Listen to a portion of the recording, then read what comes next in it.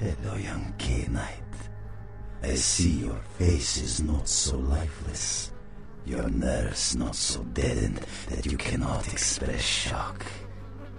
Tell me, child, is my appearance that frightening?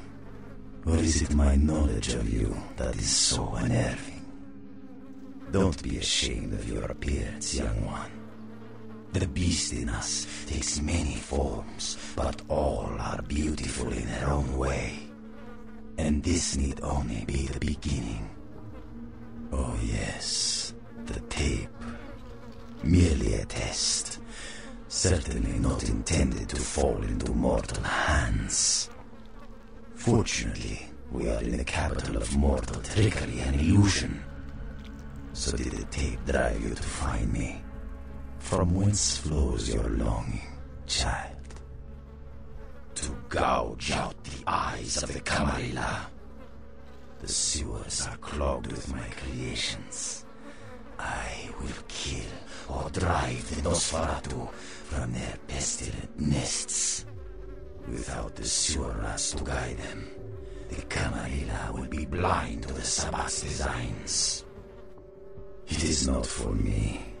It's for the will of the Sabbat.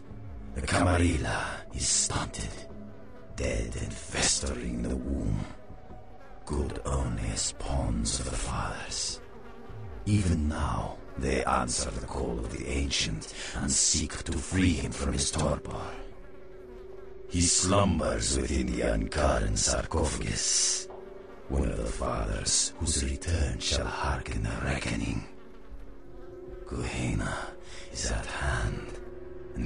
Camarilla are unwittingly speeding us all toward our doom.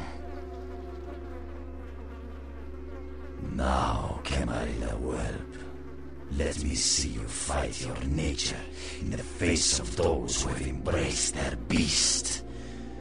Deny yourself Cain's gifts and be torn asunder by my minions.